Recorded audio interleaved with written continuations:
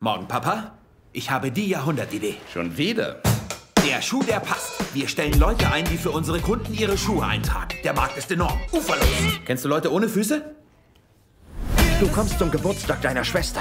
Hat hier jemand einen Grapefruitsaft gesehen? Tut mir leid, Mademoiselle. Soll ich sie Ihnen aufschreiben? Vielleicht ist es zu kompliziert für Sie. Ich weiß, ich verwöhne sie und müsste strenger sein. Könnte ich einen frischen Guavensaft mit einem winzigen Schuss Ingwer haben? Siehst du, wie sie leben? Ich muss ihnen eine Lektion erteilen.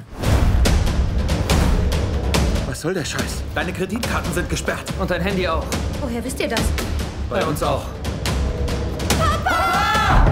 Polizei! Kinder! Hierher! Wir sind pleite und müssen ins Gefängnis. Wie bitte? Oh mein Gott. Wo fahren wir hin? Uns verstecken. In Marseille. Was tun wir jetzt, Papa? Etwas, das ihr noch nie im Leben gemacht habt. Nachdenken? Arbeiten. Bitte? Welche Abschlüsse haben Sie?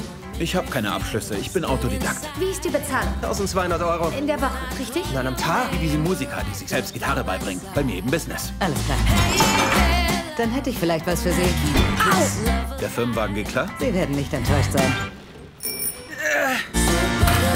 Nicht übel fürs Erste. Scheiße, was mache ich denn jetzt? Alex hat sich gar nicht erst bemüht. Guten Appetit. Und, und ich? Kein Geld, keine Pasta. Du warst nie da. Hat's euch an was gefehlt? Wenn du Geld meinst, nein. Wir hätten was anderes gebraucht, Papa.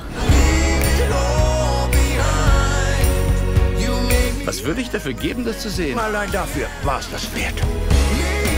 Ich glaube, wir werden viel aus dieser Erfahrung lernen. Ich wusste nicht, wie es sich entwickelt. Aber ich schwöre dir, Ihnen die Wahrheit. Und du bist sicher, dass du das für deine Kinder tust?